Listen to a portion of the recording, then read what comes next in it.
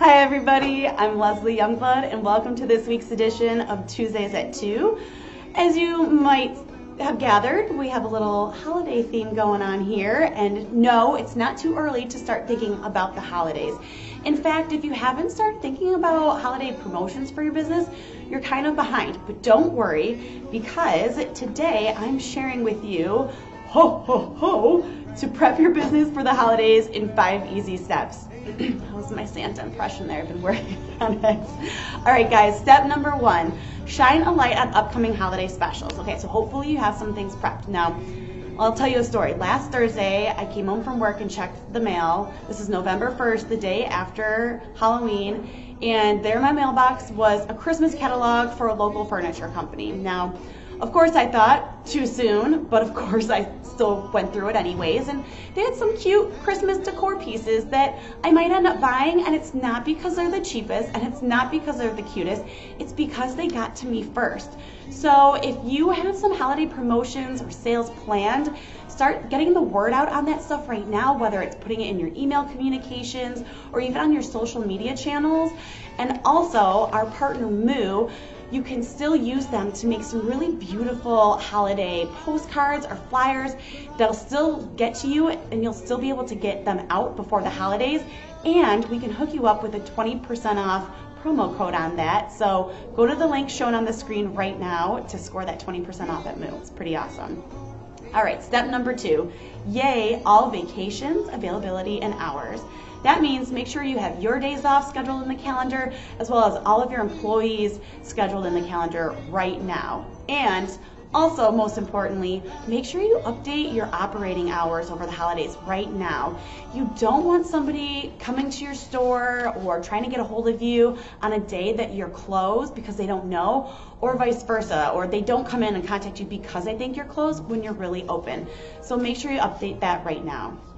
And speaking of customers, step number three, defrost your customer service. Now, we all know everybody gets a little edgy and stressed during the holidays, and we've all had a bad experience with a sales associate, whether it's at a store we love or a retailer we love, and it puts us off, right? So, you know, take the time right now to have a chat with your team about this. Make sure they can answer questions that customers may ask. Make sure they know your expectations that you have, the standard that you want to set this holiday season. And then it's also a nice time to reward your customers with a little something extra, maybe the regulars, whether it's a surprise discount or free gift wrap. Something like that goes a long way and it's pretty inexpensive. And speaking of inexpensive, those little things like patience and a friendly smile really go a long way during the holidays. All right, step number four sharpen up your season's greetings. It's a really nice and thoughtful gesture to send out some sort of messaging to your clients or even your customers over the holidays.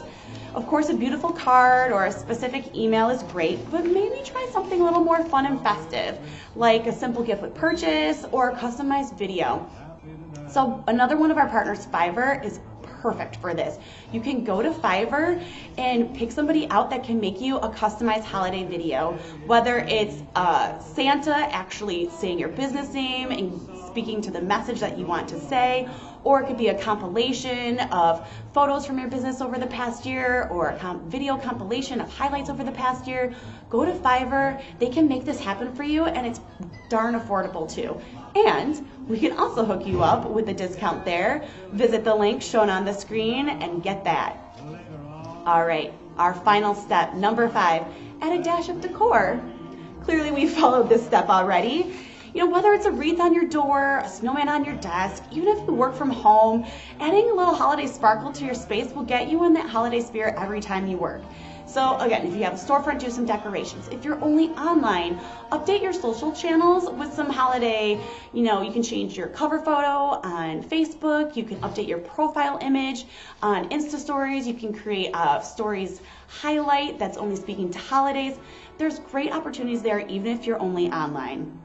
It's not too early. And if somebody comments that it's too early, it's a great conversation starter with a potential new customer. So there you go, guys. Those are five ways your business can prepare for the holidays right now. So tell me and be honest have you started listening to Christmas carols yet? We're listening to them today. It's pretty nice, actually. Have you, you know, started some holiday marketing? Let me know in the comments. I'd love to hear your stories. And until next week, I'll see ya. I'm Leslie Youngblood. Bye.